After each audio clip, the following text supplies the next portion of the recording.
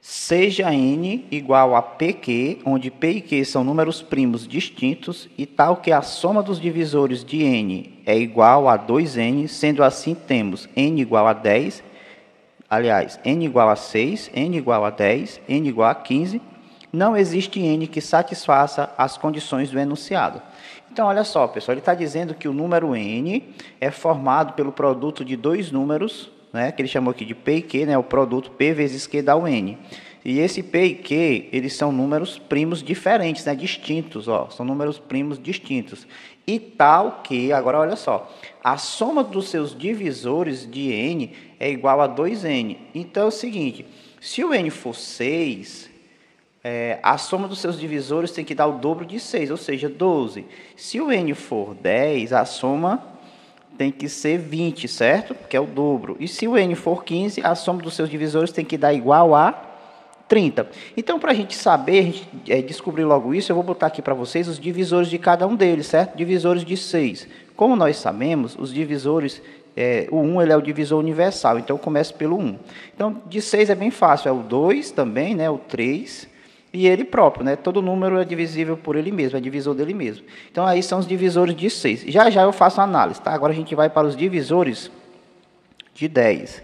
Quem são os divisores de 10? Segue a mesma lógica, certo? A gente escreve o 1, que é o primeiro, também 2, o 5 e ele próprio. Então esses aqui são os divisores de 10. E para finalizar aqui, a gente vai para os divisores de 15. Quem são os divisores de 15, pessoal? Como eu falei, o 1, né, sempre e ele mesmo. Então, 1 aí depois tem o 3, o 5 e ele mesmo, tá? Então, agora é o seguinte. Eu vou começar aqui, ó, para a gente explanar tudo, de baixo para cima. Vamos analisar primeiro o 15. Se eu somar aqui todos os seus divisores, ó, de 15, se você fizer a soma aí, sabe quanto é que a gente vai obter? 24, ó, confere. 15 mais 5, 20, mais 3, 23, mais 1, 24. Então, a soma dos divisores tem que ser o dobro, no caso aqui de 15, né? Que o dobro de 15, como eu falei no início, é 30, então não bateu. Então aqui, ó, já não pode ser o 15, certo? O N não pode ser 15, já descarta essa possibilidade. Agora eu vou aqui para somar os divisores de, de 10. Então, 1 mais 3, desculpa, 1 mais 2, 3, mais 5, 8, mais 10, 18. A soma aqui, ó, dos divisores de 10 deu 18. E o dobro de 10, ó, porque tem que dar 2n, certo? Então, a, a soma dos divisores é, teria que dar 20, né? O dobro de 10 é 20, então já descarto. Então, se não for 6, a resposta será a D, né? Porque aí não existe N nessa, nesse caso aqui que satisfaça essa situação, certo? Essas condições aqui. Então, agora, ó, os divisores, somando aqui os divisores de 6.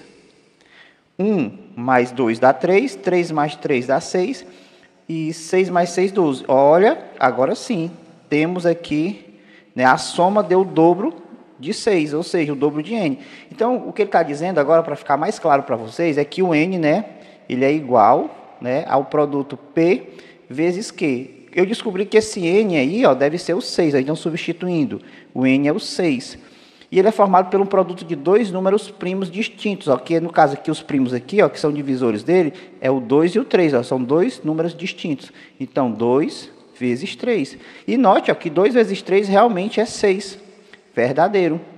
E a gente acabou de ver também que é, a soma de seus divisores dá o dobro de n, né? No caso aqui, ó, o dobro de n é o dobro de 6. Então, 2 vezes 6 é igual a 12 certo? E aí, a soma dos seus divisores tem que ser igual a 12, que bateu, né?